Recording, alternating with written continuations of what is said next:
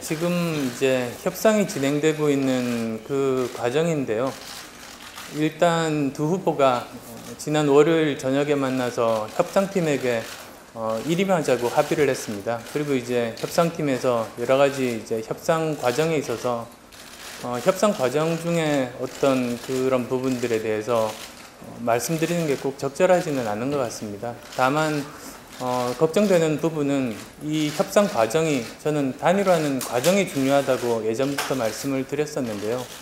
단일화 과정이 양쪽 지지층들의 어, 동의와 축복 속에서 한 사람의 단일 후보가 선출이 되고 그 힘을 바탕으로 그 대선에서 승리할 수 있다고 보는데 그 좀 더 매끄럽게 이런 과정들이 진행되었으면 하는 바람입니다. 인터뷰에서 그 강 건너고 다리 불살랐다고 말씀을 드렸습니다.